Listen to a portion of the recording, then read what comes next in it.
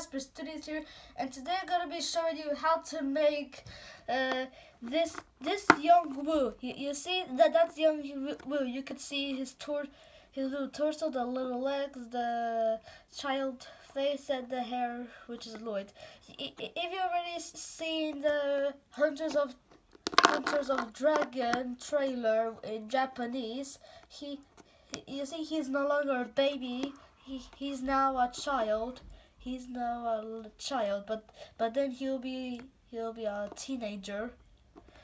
A teenage Wu that you can get from the biggest set ever, the Dragon Hunter Roller Fortress, eh, or the Dragon Master set. And, and I'm gonna show you how to do it. You, you see, you need the legs from the, the boy, from the boy's torso uh, from the little boy's torso from the ninja. Uh, and you see, uh, I got. You see, I, I just removed these legs from this part of his body and onto his uh, torso where this Wu is, and added his face from also on the Lego City set, and the hair from Lloyd,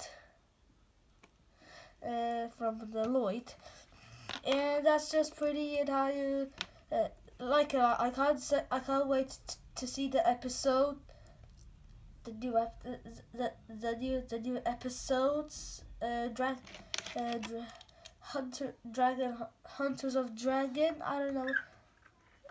Hunt, uh, but anyway, anyway, but anyway, when the I hope I hope that I hope there's there's gonna be a sneak peek of the Hunter of Dragon because I'm really excited to see it. Uh, so thank you so much for watching, and as always, my my old friend says, see you around.